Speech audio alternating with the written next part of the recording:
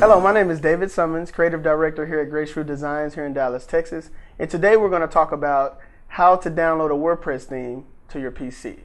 Now to do this, you want to start by navigating to wordpress.org. Remember this is wordpress.org. It's very different from wordpress.com for all of our avid WordPress users. We're going to navigate our way to wordpress.org in our standard browser. And once we get to wordpress.org, we're going to simply select the themes option located in the top navigation bar. And this is going to pull up a directory of themes. Now, you can here you can actually run search queries on millions of themes literally. And simply you're going to scroll down to the theme that you want to download.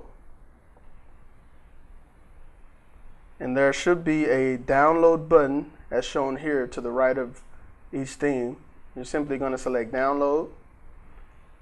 And depending on your browser settings, you should get an option to save the file in, a, in your own specified location. So we're simply going to save the file here.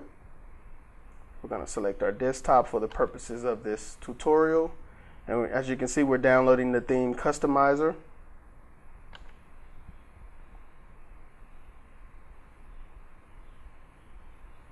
And then we're simply going to go back to our desktop. And as you can see, we've downloaded the theme customizer to our desktop. Once again, my name is David Summons. I'm the creative director here at Graceroot Designs, based here in Dallas, Texas. And today we talked about how to download a WordPress theme to your PC.